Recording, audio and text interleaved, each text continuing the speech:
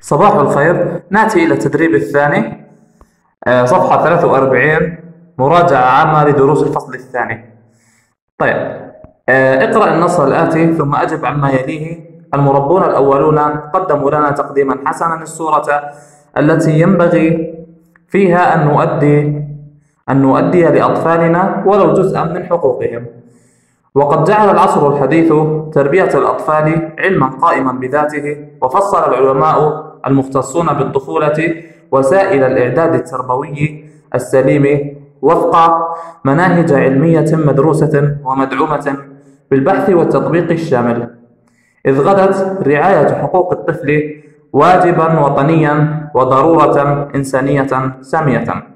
واحد استخرج من النص ألف مفعولا مطلقا. طيب دائما مفعول مطلق قلنا أنه ماذا؟ يكون منصوب ومن نفس آه، حروف الفعل الذي يسبقه وهو يكون مصدر. فنقول قدموا تقديما. إذا تقديما.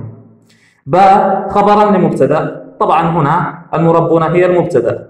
طبعا قدموا هي الخبر. هذه الجملة الفعلية. إذا الخبر هي قدموا. الجملة الفعلية في محل رفع خبر للمبتدأ. طيب آه نضيف أيضا لدينا آه اللي هي استخراجات أخرى. طبعا هذه فقرة مهمة للاستخراجات. فنقول مثلا نريد ضمير متصل في محل الجر فنقول هنا في كلمة لنا. طبعا اللام حرف جر والنا ضمير متصل مبني في محل جر بحرف الجر. دائما قلنا ضمير متصل في محل الجر إما يكون بعد حرف جر أو يكون بعد إيش؟ بعد الاسم. تمام؟ يكون مع الاسم يعني متصل به. أو يكون متصل بحرف الجر. طيب آه الثانية اسما موصولا. طبعا الأسماء الموصولة الذي والتي واللذان والذين يعني التي آه يعني آه تدل على إيش؟ يعني الاسم الموصول التي إيش؟ طبعا كنتم قد أخذتموها سابقا. نقول اسم موصول طبعا آه التي هنا التي تمام؟ طيب طيب استخرج أيضا آه مضاف إليه مجرور. مضاف إليه مجرور هنا ماذا؟ وسائل الإعداد. اذا الإعداد تمام؟ هذه مضاف إليه مجرور. نعتم مجرورا طبعا هنا آه صفة لما قبلها. في طبعا مجرور حركتها الكسرة. طيب نقول التربوي أو مدروسة تمام؟ تصف ما قبلها. اسما معطوفا مجرورا طبعا يكون بعد حرف الجر آه بعد حرف العطف. هناك حروف العطف ما هي؟ و أو والفاء يعني هذه. طيب هنا والتطبيق إذا التطبيق بعد حرف الواو حركة ماذا؟ الجر. اسما معطوفا منصوبا. طبعا بعد حرف عطف يكون منصوب. بمعنى إيش؟ حركة النصب هي الفتحة. نقول ضرورة. اذا هي آه معطوفة على ما قبلها. صحيح؟ طيب.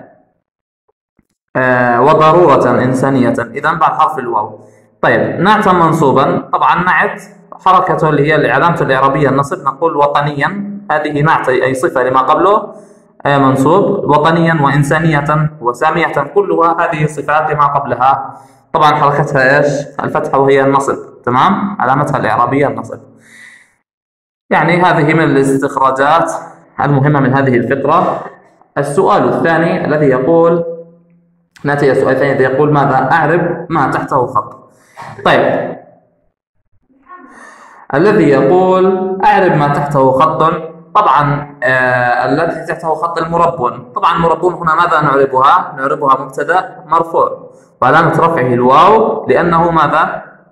لأنه جمع مذكر سالم. صحيح؟ طيب. هناك أيضا إعرابات أخرى نضيفها آه من هذه الفقرة. طبعا آه نقول آه تقديما. ماذا نعربها مفعول مطلق منصوب. وعلامة نصبه الفتحة الظاهرة على آخره. طيب أن نؤدي أن نقول هنا حرف نصب. نؤدي نعربها فعل مضارع منصوب وعلامة نصبه الفتحة الظاهرة على آخره. تظهر على الياء صحيح؟ الفتحة تظهر على الياء ولا تظهر الضمة والكسر عليها. طيب إذا هنا آه علامة نصبه فتحة ظاهرة على آخره. الفاعل ضمير مستتر تقديره ماذا؟ تقديره نحن أن نؤدي نحن. طيب آه أيضا هناك تربية الأطفال. طيب تربية هنا ماذا؟ جاءت مفعول به منصوب وعلامة نصبه فتحة ظاهرة آخره وهو مضاف. الأطفال مضاف إلى مجرور وعلامة جره كسر على آخره. طبعا هكذا نعربها. أيضا غدت. غدت هنا ماذا؟ فعل ماضي مبني على الفتح التاء هنا تاء التأنيث الساكنة لا محل له من الإعراب. رعاية.